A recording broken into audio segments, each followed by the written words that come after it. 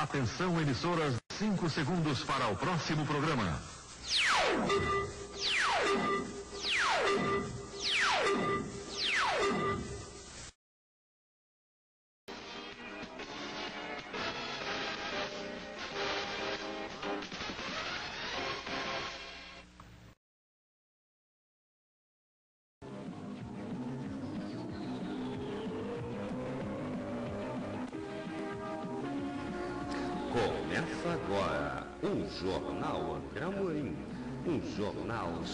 De notícias até o fim.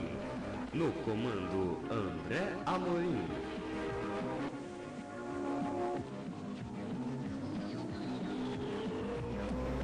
Olá! Muito bom dia, boa tarde, boa noite.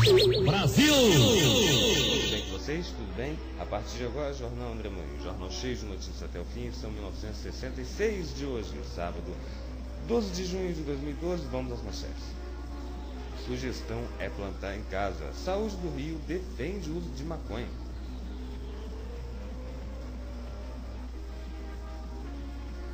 Na sessão de mulher, Grazi, a mamãe do ano. Cauã é quem vai trocar as fraldas. Thor dirigia 135 km por hora em atropelamento. Estas outras notícias de capa de um dia você vai saber junto com algumas notícias do site do Chico e com algumas notícias do protejateus.org. Promoção mini churrasqueira do dia do seu jornal dia. Hoje tem seu Coringa, tem. Promoção reloginho do dia do seu jornal dia. Começa amanhã. Promoção reloginho do dia. São diversos modelos para você escolher. Faça seu filho feliz com apenas 20 seus mais 9,90. E você ganha um relógio do dia mais um produto editorial. Dê um presentão para o seu filho ou o seu netinho. Promoção Reloginho do Dia. O seu jornal dia, como o Rio gosta de ver. O Jornal André Moinho agora. Estas e outras notícias você vai saber logo mais no Jornal André Moinho que já está no ar para você.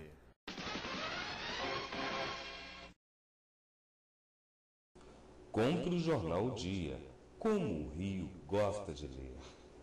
Os preços do Jornal Dia são de segunda a sábado, vinte centavos. Isso mesmo, um real e no domingo, o Jornal Dia custa o dobro, dois reais e quarenta centavos. Isso mesmo, dois reais e quarenta centavos. E o site de O Dia Online, www.udia.com.br. Repetindo, www.udia.com.br. Tudo pronto pro churrasco? Prontinho, prontinho, meu amor. 10 quilos de carvão, 30 litros de bebida e 3 quilos de farofa. Tá faltando a carne. Tá lá na sala. Busca. Tem jeito melhor de fazer um churrasquinho dentro de casa. Promoção mini churrasqueira do dia. Não tem cheiro nem fumaça. Junte apenas 10 selos mais R$19,90. Compre o jornal O Dia e participe. Pero cuando el gobierno de Dios se establezca sobre esta nación, sobre toda la tierra, nosotros vamos a ver la libertad gloriosa de los hijos de Dios. Ouça o programa Venta Científica na Metropolitana AM 1090 kHz seu dial, de segunda a sexta, das 4 às 5 da tarde. Ou então no site www.metropolitana1090.com.br. Mis ovejas oyen mi voz. Não se esqueça, Metropolitana 1090, Rio de Janeiro. Você é um abençoado com todas as bênçãos espirituais.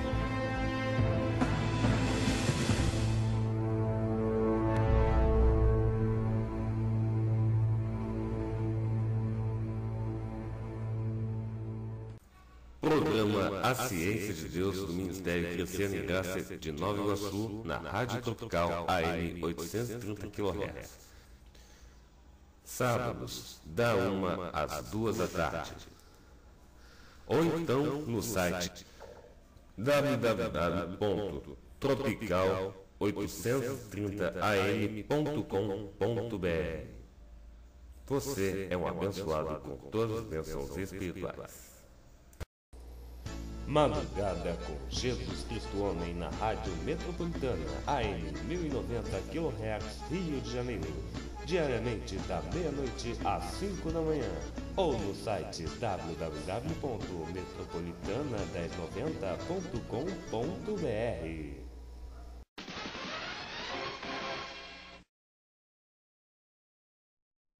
Piadinha. Abaixo as gias. Se não gosta de gias, fale cientificamente. 1. Um, prosopopeia flácida para acalentar bovinos. Conversa mole para boi 2. Coloque o sonolento para fazer bovino repousar. História para boi dormir. 3. Romper a face. Quebrar a cara. 4. Creditar o primata pagar o mico. 5. Inflar o volume da bolsa escotal. Encher o saco. Sexto, ou 6. Derrubar com a extremidade do membro inferior o sustentáculo de uma das unidades de proteção solar do acampamento. Chutar o pau da barraca. 7. Deglutir o, o batráquio. Engolir o sapo. 8 derrubar com intenções mortais, cair matando. 9. Aplicar a contravenção do João, deficiente físico, de um dos membros superiores. Dá uma de João sem braço. 10. Sequer considerando a utilização de um longo pedaço de madeira. Nem a pau. 11 sequer considerando a possibilidade da fêmea bovina expirar fortes contrações laringobucais, nem que a vaca tussa. 12. 12. Sequer considerando a utilização de uma relação sexual, nem ferrando, não dizer outra coisa. 13. Derramar água pelo chão através do tombamento violento e premeditado de seu recipiente com a extremidade do membro inferior. Chutar o balde. 14. Esse foi 13. 14. Retirar o filhote de equino da perturbação pluviométrica. Tirar o cavalinho da chuva. E essa última foi tirada do mais culto livro de palavras, de palavras clássicas da língua portuguesa. 15. A bucéfalo de oferendas não perquis formação ortodôntica. A cavalo dado não se olham os dentes. E agora, para fechar com chave de ouro, advertência para fins de semana ou feriados. O orifício circular corrugado, localizado na parte inferolombar da região glútea de um indivíduo em alto grau etílico, deixa de estar em consonância com os ditames referentes ao direito individual de propriedade. Fiofó de bêbado não tem dono. As notícias, por favor. Rádio Record, a maior.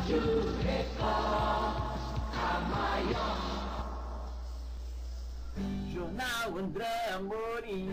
Oi, oi, oi, oi. Jornal X notícias até o fim. Aê! E agora, no Jornal André Morim, a notícia mais quente do dia. Sugestão é plantar em casa. Saúde do Rio defende o uso de maconha. Polêmica Publicação disponível no blog da Coordenação de Saúde Mental, programa da Secretaria Municipal de Saúde, recomenda que o usuário cultive a droga que consome como mecanismo de redução de danos. A Secretaria alega que blog é uma iniciativa dos funcionários. Detalhes na página 10 do dia. Tord gia a 135 km por hora em atropelamento. Filho do empresário Ike Batista foi indiciado por homicídio culposo ou seja, não intencional. Corpo de ciclista foi lançado a 65 metros. Detalhes na página 6 do dia. Na página 21, na seção Economia, Dia das Mães, lojas fazem promoções de última hora para atrair consumidores. Na página 12, na seção Rio de Janeiro, favelas do Complexo do Alemão ganham mais uma UPP. São quase mil policiais. Nas páginas 32 e 33, na seção Ataque, Fred desfalca o Flu na final do Carioca e contra o Boca. Hum, na, na seção de mulher, na página 44, Grazi, a mamãe do ano. Cauã é quem vai trocar as fraldas. À espera de Sofia, Grazi Massafera conta que Cauã Raymond vai assistir ao parto e que está ansiosa. Bate um medo, diz. E agora, as notícias do site protejasseusfilhos.org. Sacerdote Gab- Gabriel Amorte afirma: Vaticano tem seitas satânicas. A religião católica, a partir de sua liderança cúpula no Vaticano, foi incisivo passar, ao passar e mostrar que as posses diabólicas são reais. Colômbia. Em entrevista que teve com o jornalista italiano Marco Tosati, com Gabriel Amorte, de 85 anos, que escreveu o livro Memórias de um Exorcista, Minha Luta contra Satanás, disse ter sua conta disse ter em sua conta uma média de 70 mil exorcismos e mencionadas no espaço, com que dentro do Vaticano existem seitas satânicas promovidas pelo mesmo sacerdote, e que o atual Papa Bento XVI e o recentemente beatificado João Paulo II estavam cientes disso. Bem que o culto satânico é claro para identificar, porque os únicos que proibiam o casamento, e o apóstolo Paulo chamou esse mau costume de doutrina de demônios, se- segundo 1 Timóteo, capítulo 4, versículos 1, 2 e 3. E sobre, e sobre o exorcismo nem fala. Lutar contra alguém que já não existe, segundo Hebreus 2,14, é para passar o tempo, porque está escrito que não há tentação que não seja humana, segundo 1 Coríntios, é, capítulo 10, versículo 13. Então não provém Satanás. Todos esses, todos estes atos demoníacos são o resultado do, do velho homem viciado de desejos enganosos, segundo Efésios capítulo 4, versículo 22, que está em nós, que sem a verdadeira submissão espiritual dada e explicada por Deus, Jesus Cristo homem, é capaz de, é capaz, é capaz de montar o show do século e do exorcismo. Linda Blair, de nós fica quem? Entenda que essa carne que nós carregamos é ruim, mas que não é a nossa verdadeira identidade. Somos anjos espirituais com corpo. O recém-beatificado João Paulo II, Karol Wojtyła, vendeu veneno nas vistas para matar judeus em Auschwitz. 8 de maio de 2011. A companhia química alemã IG Farben tem um passado muito negro em seu histórico. Fabricou os gases venenosos que foram utilizados nos campos de extermínio nazistas, milhões de judeus respiraram e morreram. Cianureto, Zyklon B e Malaton foram misturados para implementar a solução final judaica. De acordo com o livro Behold a Pale Horse, de William Cooper, um dos verdugos carregados de preparar os gases venenosos se- chamava Karol Wojtyła. Sim, ele mesmo, e que depois foi conhecido pelo mundo como Papa João Paulo II, o mesmo que foi agora beatificado por sua vida exemplar, mas que em realidade foi um colaborador polaco com os nazistas que invadiram seu país e que depois, para escapar à justiça, ingressou aos fileiros do clero católico. Wojtyła trabalhou para IG Farben, vendendo e preparando os gases venenosos que foram usados em Auschwitz, o maior campo de extermínio nazista, onde foram assassinados e cremados 2 milhões e meio de judeus. O Wojtyła, ou Papa João Paulo II, comercializou e preparou o cianureto para matá-los. Será que ele via como o gás saía pelos supostos regadores? Será que ele via como o gás saía pelos supostos regadores? Notou nos olhos abertos a cara surpresa e medo dos judeus que se asfixiavam pelos compostos químicos que ele mesmo preparou? O que ele preferiu matar? Crianças, homens ou mulheres? Ou se gozava igualmente quando todos deixavam de respirar? Terá repartido seus pertences? Haverá participado e celebrado os risos dos oficiais da SS? Terá ficado orgulhoso da eficácia de seus gases venenosos? Claro que sim. Os dados que agora são conhecidos em toda a internet dão ao holocausto judeu uma nova perspectiva, um novo protagonista, um novo verdugo, João Paulo II, assassino de judeus, protetor de pedófilos, um fascista de origem. O verdadeiro apelido de Karol Wojtyła deveria ser Juden zu Tot- eh, Toten Papst, ou seja, Pontífice mata judeus. E agora, as notícias do site O Fuxico. Google mantém fotos nuas de Carolina Dickman. O advogado da atriz havia dado um prazo até a tarde da última terça-feira. Mesmo com o pedido feito pelo advogado de Carolina Dickman, o Google não retirou as fotos da atriz nua e as mantém na web, por meio de sua ferramenta de buscas, pelo menos até amanhã desta quarta-feira, dia 9. As imagens vazaram na última sexta-feira, dia 4. O advogado da atriz, Antônio Carlos Almeida Castro, disse que se as imagens não forem retiradas até o fim da tarde de ontem, ele, entrará, ele entraria com uma ação à justiça contra a empresa. Vale ressaltar que o Google é avesso à retirada de qualquer conteúdo da, da internet. Segundo a coluna Olá, a assessoria do Google não comentou sobre o caso. Na noite da última segunda-feira, dia 7, dois técnicos da loja que prestou assistência ao Macintosh da atriz foram ouvidos pela polícia. A conversa entre eles ainda é mantida em vídeo. Caceta e Planeta sai do ar novamente. Outros programas também serão suspensos.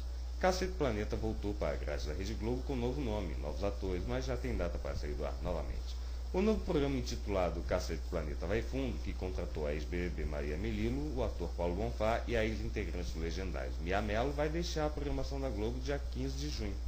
Um que vai dar lugar ao remake de Gabriela, nova novela das 11, de autoria de Valcir Carrasco e direção de núcleo de Roberto Tal. Além do Caceta, outros programas também deverão sair do ar devido à estreia de Cleitinho. Embora não esteja atingindo altos índices no Ibope, os fãs dos humorísticos não precisam se preocupar. Em outubro, quando encerra o folhetim, Cacete Planeta volta à grade de programação da emissora. E agora, a última do Jornal André Amorim. E a última do Jornal André Amorim, jornal cheio de notícias até o fim. Esse cara, de quem vou falar agora, lembra um pouco o Ronald Rios, aquele que apresentou o Badalhoca MTV e apresentou um programa na Rádio Jovem Pan FM. E, e hoje está como repórter do CQC. É. Só que não vou falar do Ronald Wilson, vou falar de um cantor que, pare, que se parece com ele. Cantor muda de sexo, mas continua casado. Tom Gable revelou Rolling, à revista Rolling Stone que está pronto para iniciar processo de transição e que vai se chamar Laura Jane Grace. Um caso surpreendente. Tom Gable, líder da banda punk Against Me, fez uma revelação inesperada durante entrevista à revista Rolling Stone. Ele diz que desde criança convive com um transtorno de identidade de gênero, mas agora finalmente tomou uma decisão radical e vai mudar de sexo. Ele começará a ser submetido a um tratamento com injeções de hormônios e quer assumir uma identidade feminina e um novo nome. Muito provavelmente escolherá Laura Jane Grace. Detalhe curioso, ele é casado e pretende manter a relação com sua mulher. Para mim, o, as, o aspecto mais terrível seria a relação dela à notícia. Mas ela tem sido espetacular e compreensiva, afirma Gego, referindo-se à esposa Heather, com quem tem uma filha de dois anos chamada Evelyn. Até então, Tom estava mantendo a sua versão em segredo. Apenas um grupo de amigos e familiares sabiam da história. Vou passar por momentos embaraçosos e essa parte não será divertida, mas tenho esperança que as pessoas compreendam e sejam gentis. A Rolling Stone promete mais detalhes da história na edição que chega às bancas na próxima sexta-feira, dia 11. A banda Against Me lançará ainda este ano o seu sexto álbum, intitulado Transgender Dysphoria Blues, em uma alusão óbvia ao processo pelo qual o seu vocalista está passando. O caso de Gable não é o único no rock em 2011. Kate Caputo, vocalista dos Life of Agony, anunciou a sua transição de masculino para feminino, apresentando-se desde então como Mina Caputo. Muito obrigado pela companhia e pela audiência. O Jornal André Morim, edição 1966. De hoje fica por. De hoje é quarta. É, não, sábado, dia 12 de maio de 2012, fica por aqui. Um super beijo para vocês. Um forte abraço e até amanhã, se Deus quiser. Tchau, pessoal. A gente se vê por aqui. Melhor dia da vida, A cobertura angelical contigo, hein? Assim é. Ah, papai. Fui.